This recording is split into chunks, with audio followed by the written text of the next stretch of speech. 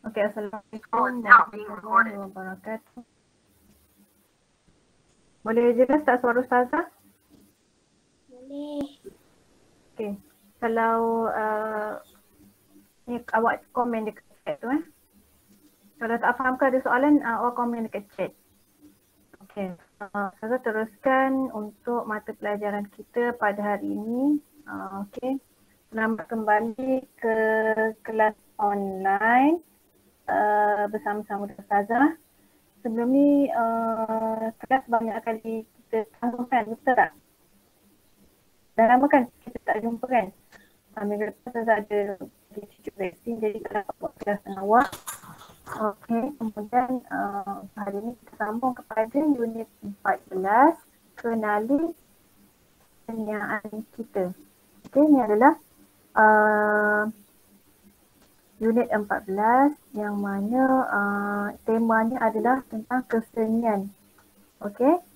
Dan kemahiran yang kita akan gunakan pada hari ini ialah kemahiran mendengar dan bertutur. Maka uh, Ustazah nak murid-murid semua fokus dengar apa yang Ustazah nak uh, sampaikan. Uh, sekiranya Ustazah minta uh, murid-murid semua bagi respon sila uh, uh, sila bagi respon yang sebaiknya. Okey. Jadi kemungkinan Ustazah akan panggil antara uh, kamu jadi saya akan uh, minta awak jawab nanti okey. Okey untuk uh, topiknya ialah tarian ceracap inai. Okey. Ini adalah tarian tradisional yang mana uh, dia terkenal terutamanya di Johor. Okey, kalau tengok pakaian pun memang nampak kemelayuannya ataupun nampak klasik. Betul tak? Uh, pakai songket, uh, yang wanita memakai sanggul. Okay. Kemudian ia berasal daripada tarian istana dipersembahkan dengan hiasan seperti bunga-bungaan emas, pada kiring dan bercairkan api lilin. Okay, maknanya hiasan dia ataupun um, apa yang dibawa semasa tarian tersebut adalah kiring daripada lilin dan juga bunga. Okay. Jadi ini adalah satu salah satu simbolik bagi tarian Cilacap Inai. Asalnya ditarik uh, ditarikan oleh penari uh, asalnya ditarikan oleh penari wanita dalam bidangan ganjil boleh juga ditarikan secara berpasangan oleh penari lelaki dan wanita. Okay.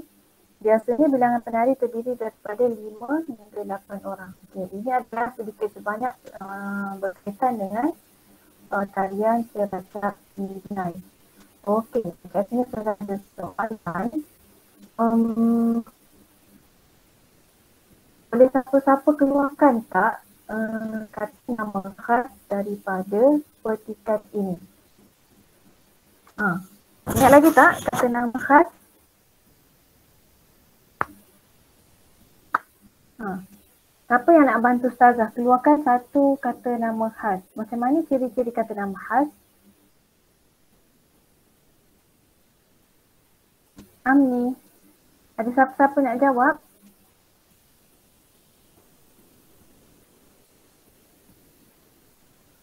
Kata nama khas. Ha, kata nama khas. Macam mana kata nama khas?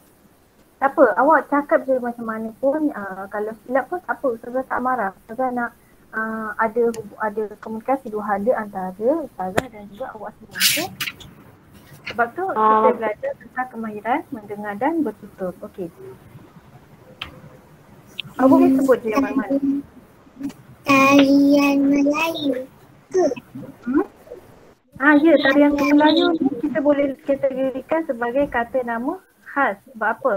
Sebab dia adalah kata nama khas yang di, dimulakan dengan huruf besar. Betul tak? Dan Ha, kata nama huruf kecil. Kata nama khas kena huruf besar kan? Betul? Kemudian tarian ceracap inai. Betul tak kata nama khas? Ah, dia adalah kata nama khas huruf besar, huruf besar dan huruf besar. Dimulakan dengan huruf besar. Okey. Uh, sekejap. Saya dah tukar. Cuba cari kata nama Am pula. Am. Ha, kata nama Am tu macam nak umum. Maksudnya. Hmm. Maksudnya. Ha, macam mana? Wanita. Okey. Ha. Wanita awak boleh kategorikan sebagai kata nama am. Maksudnya awak tak tahu wanita tu uh, siapa kan? Umum. Uh, Ustazah pun wanita, awak pun wanita. Betul tak? Betul tak? Ha, kalau bunga-bunga bunga pun adalah umum. Kenapa kita kata umum? Ya. Sebab kita tak tahu bunga tu kalau uh, bunga orkid huruf besar kan betul dia signifikan kalau bunga-bungaan ni umum kata yang umum itu juga tarian. Okey? Kita teruskan kepada muka surat yang okey aktiviti adalah memberi respon okey? Awak semua memberikan respon dengan baik kepada soalan ustazah. Kita teruskan dengan kemahiran membaca. Okey, kalau tengok dekat sini kemahiran membaca, dia ber, uh, topik yang di, ke, diutarakan di sini ialah kaitan dengan baca kurung untuk Nabila. Okey, siapa nak tolong Ustazah baca petikan ni? Hmm. Ha. Siapa nak baca?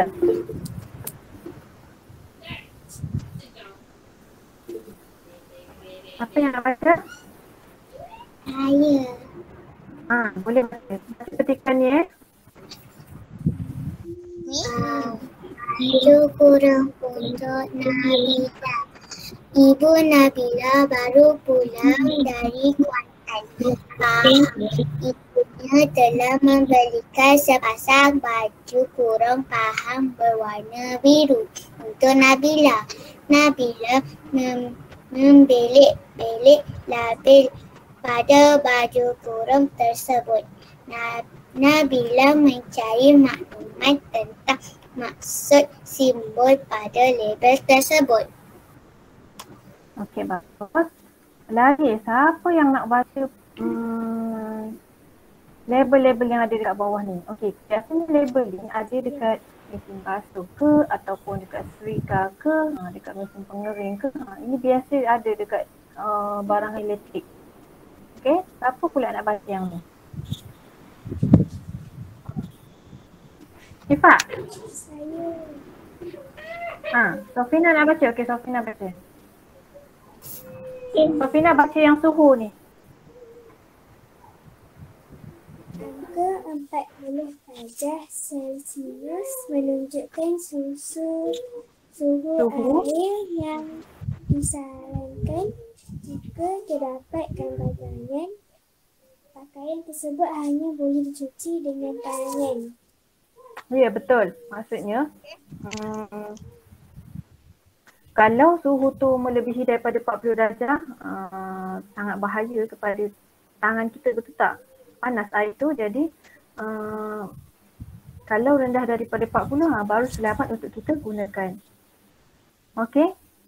Kemudian pengeringan siapa nak baca? Saya, saya nak Baca? saya. Ifran nak baca. Okey, Ifran baca. Pengeringan lah. Ha, pengeringan. Tanda silang pada simbol ini pula bermaksud pakaian tersebut tidak boleh dikeringkan dengan mesin. Hmm. Maksudnya uh, kalau ada tanda merah ni, pangkah dan merah, mak- maknanya awak tak boleh nak uh, gunakan pakaian awak untuk dikeringkan di dalam mesin tu, okey? Jadi kena yang akan pastikan awak tahu simbol-simbol ini, okey? Setrika, siapa nak baca setrika? Hmm. Hmm, Syifa baca. Tak apa, jangan risau salah, baca je.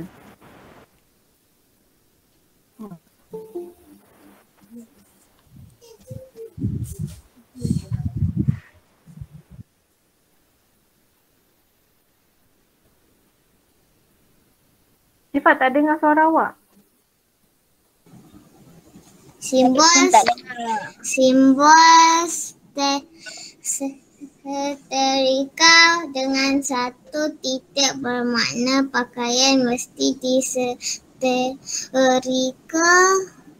dengan suhu rendah.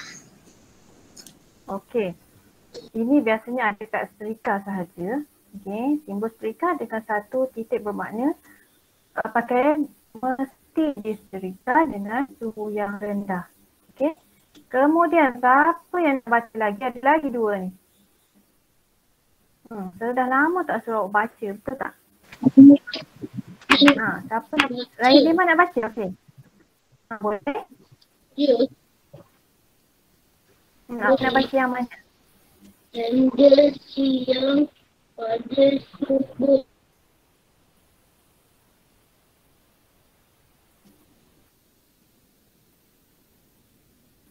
Jangan Yani politik campurkan penduduk pada cucian. bagus. Okey, uh, kalau ada tanda, tanda pangkah dan juga segitiga tu maksudnya apa? Jangan campurkan peluntur pada cucian. Sebab apa? Kita takut nanti peluntur tu akan uh, kita takut peluntur tu akan merosak mana baju kita tu.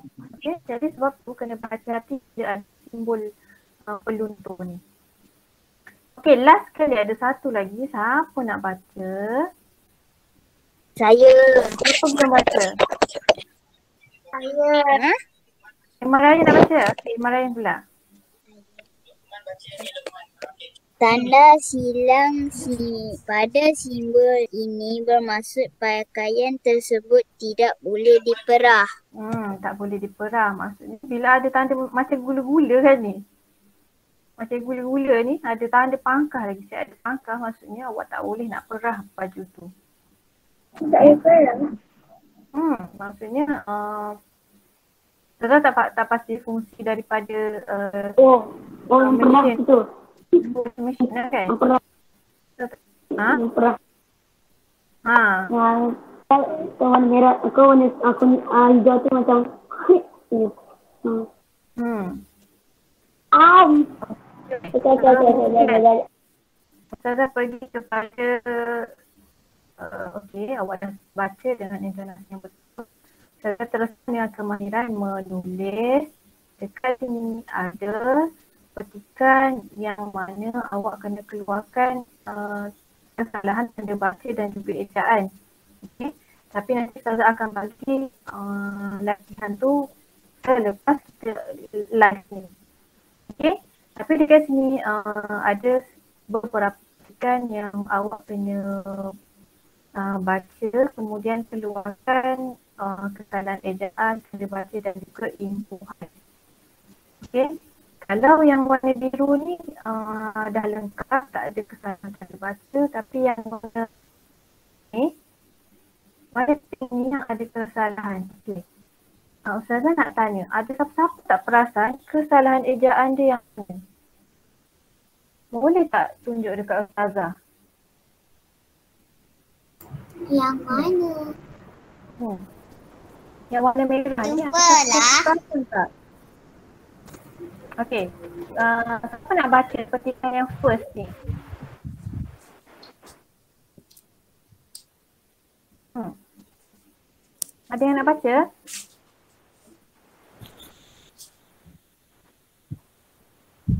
Okay. Amni baca? Baca yang yang warna purple tu kan? Ha, ya.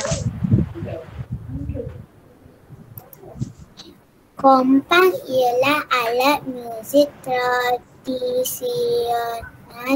Alat muzik ini popular dalam kalangan masyarakat Melayu. Kompang tergolong dalam kumpulan alat muzik gendang kulit kompang biasanya diperbuat daripada kulit kambing. Okay. Kompang Siapa yang perasan? Ha. Saya jumpa.